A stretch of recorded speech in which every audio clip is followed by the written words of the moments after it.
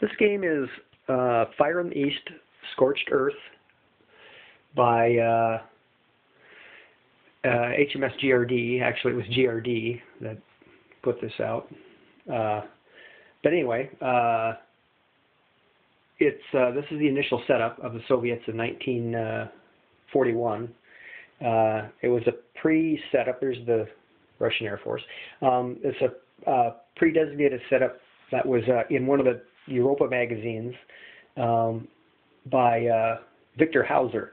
So it's a runaway defense, and uh, it's set up for a runaway defense anyway. Um, anyway, uh, this is Army Group North, um, Army Group Center, and Army Group South with the Romanians and the uh, the German garrison of Romania.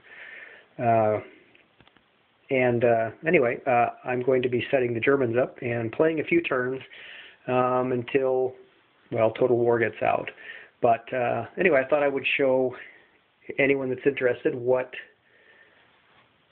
Total War or uh, what uh, Fire in the Scorched Earth looks like on a big scale. If I back up, it's a pretty big game, and uh, kind of hard to see, but it's a pretty game, big game. Um, Moscow, right there. We've got Leningrad, and uh, so anyway, Total War will replace this game, or will replace Fire of the East.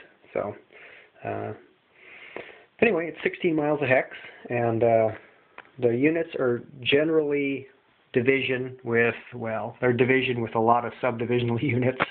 Um, the artillery is usually regiment. Um, and uh, you get down into uh, battalions uh, when you start talking anti uh, anti-tank, anti-aircraft. Uh, some of the uh, armored units or battalions. Um, usually the infantry is is uh, divisional, and uh, they have breakdown units though, so you can break them down. Some of them anyway. Um, so uh, anyway, I will uh, give this a shot, and uh, I'll maybe post a video of the German setup, or what it looks like after I set the Germans up, and then uh, I'll do the surprise turn, and it's a pretty big game, so it takes a while to do. Um, but we'll see how it goes. And uh, it's hard with one person. Uh, but anyway, we'll give it a shot.